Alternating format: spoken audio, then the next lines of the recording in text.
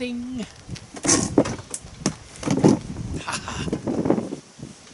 to Backyard Plinking. My name is Charles. I'll be your host as we go through and explore everything BBM pellet related from air pistols to air rifles, targets, and ammo. Today, we got one from Beeman. It's a uh, single fire, pellet only. It's not a break barrel, it's not a. It's kind of different. It is the P17. Unless you're in Canada, it's like 15 and 7 eighths or something. So, any, I am just kidding. Don't don't start with. I know metric system, so that'd be point. Never mind. Dug my own hole. Anyway, this thing is uh, it's actually not too awful bad. It, there's an issue that I have with it. kind of get into a little bit, but it does have a uh, metal trigger that's in here, fiber optic front sight, fully adjustable fiber optic rear sight. Does have a, a rail system on here where you could actually mount an optic, but it'd be hard to do. Safety is here, fire, safe, and when you get ready to load it, to, to cock it or whatever, it will actually reset the safety. So you don't have to worry about, you know, forgetting to put it on put it on safe before you uh, load it. Now does have a hammer, which is not a hammer. So loading this thing for me is a little awkward because my big, you know, fumble finger hands. But uh, I have my handy dandy pellet loading patent pending apparatus here. So what you do is you pull a hammer down, top comes open. Now, this is actually going to be a good time too for you know some of you guys that know if we talk about a Springer or if we talk about a nitro piston or a gas piston or something like that, if you know what that is, that's fine. Some of you guys that don't, this is going to be a, uh, a good experience for you. When you talk about a Springer, you're talking about a, a large spring that's inside of a cylinder. So once you make a motion, it compresses the spring, it holds the energy, releases it. Same thing with a gas piston. Uh, you have a cylinder, uh, another cylinder, you pull that one out, and then when you recock it, you pressurize it. That's what this one is. So, see the main cylinder, entry cylinder, and there's the arm. Now this is uh, there's no spring in here. It's it's all air pressure, gas pressure. Here's the thing. Inside here, right up in there, is where the barrel is. So that's where you had to put the pellet. Hence these.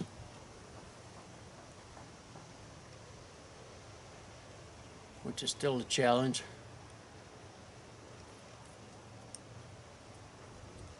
Most of the time. So, once you get the pellet loaded into the barrel, make sure it comes all the way forward, and then you start to return.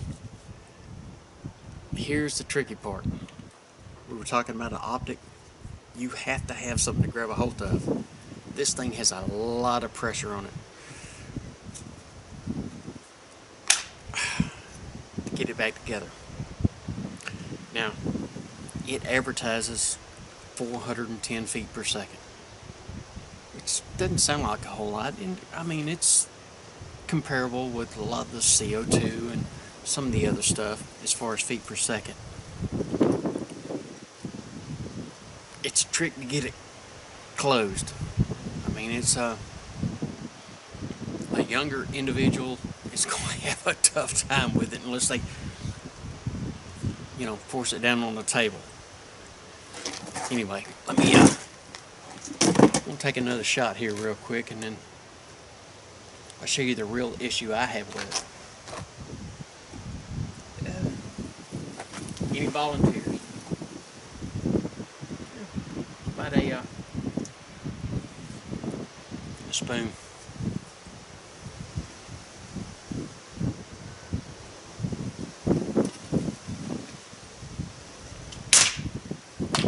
Yep. And that's what I thought would happen. No, I missed it. Here's the issue I have with this thing. Remember when I was pressing my way down? The rear sights that are in here, let me show you something.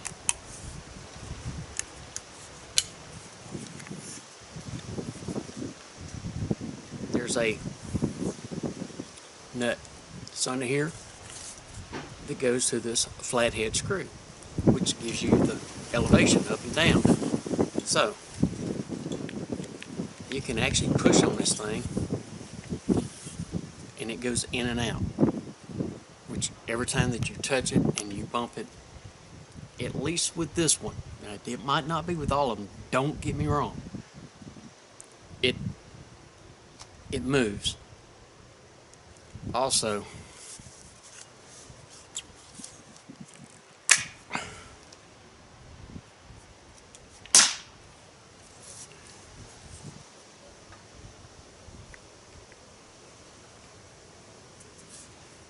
left and right adjustment right here with this screw. Whole sight moves. So every time that you load it, there's a chance that you could knock the rear sights off. I do it all the time. And then I'll have to go back through and say, "Mm, well, maybe I need to.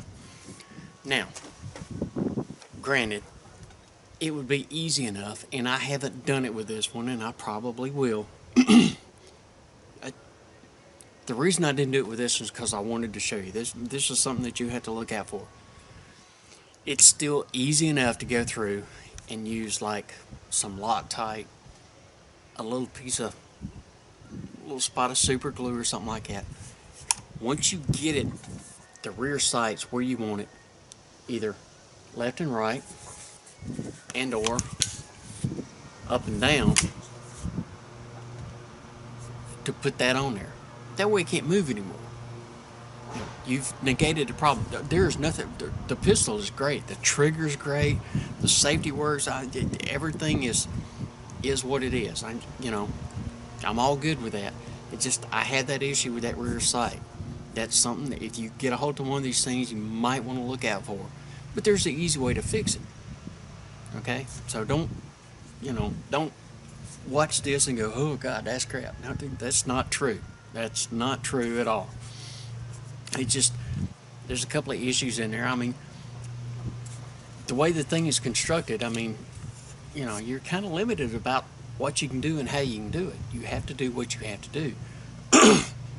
but, well, spot of super glue or, you know, maybe some Loctite on the threads and the same thing up here.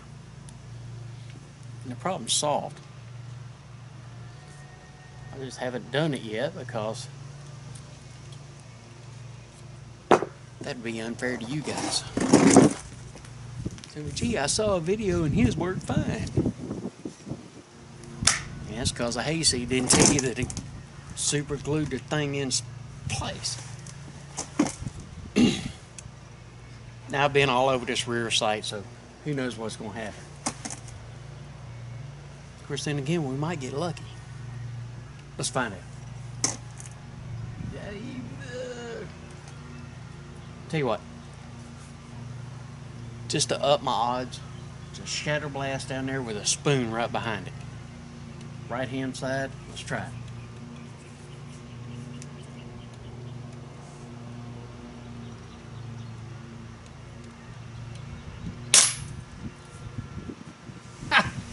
It's a shatter blast and a spoon. But all in all, I mean, you know, you're talking about something that's under, you know, under 40 bucks. Now, you're not going to really find these laying around on the shelf. This is something that you had to go get, but they're well worth it. I mean, yes, it's a single fire. Um, it's a little hard to get the pellets in there if you got, you know, big old clod hopper hands. And the little thing with the rear sight, but that is easily fixed. Getting the pellets in there, I mean, that's not that big a deal. But the thing shoots great. It's got a great trigger on it. It's light, but it's, you know, it's it, it it's heavy enough that you know it, it shoots really good. I mean, it really does. Once you get it sighted in, there's nothing to it. It looks cool.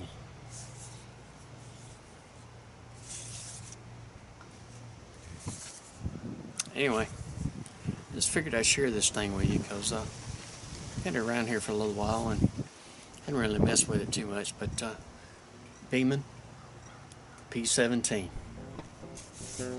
very cool. Till next time, my name is Charles. Been backyard plinking.